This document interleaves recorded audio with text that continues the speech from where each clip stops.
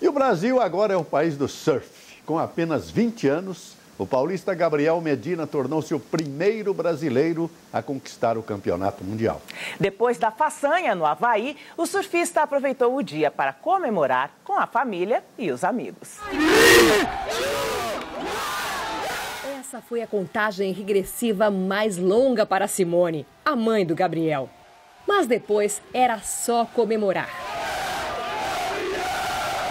Medina saiu da água enxugando as lágrimas e carregado pela torcida. A decisão aconteceu já na quinta etapa. Medina estava à frente de McFadden na pontuação geral e por isso ele precisava vencer para continuar na briga pelo título.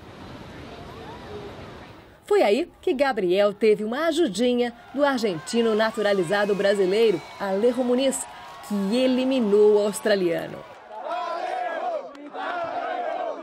A derrota de McFadden, Gabriel Medina já foi consagrado campeão de 2014.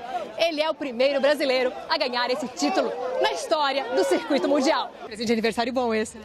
É, meu aniversário está em dois dias do meu aniversário e não tem presente melhor do que esse.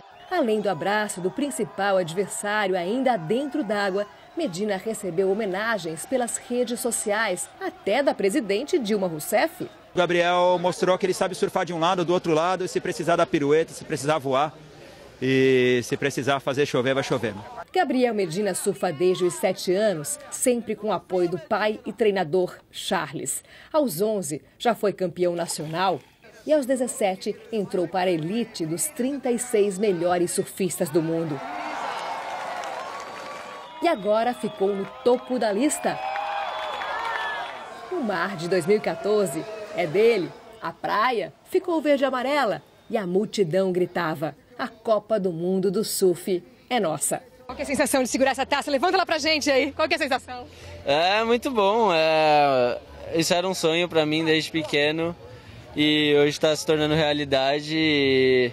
É muito bom alcançar seus sonhos, né? Então hoje é um dia especial. E ter mais força pro futuro agora para continuar no surf? Com certeza. Espero que esse seja o primeiro de muitos e que venham mais.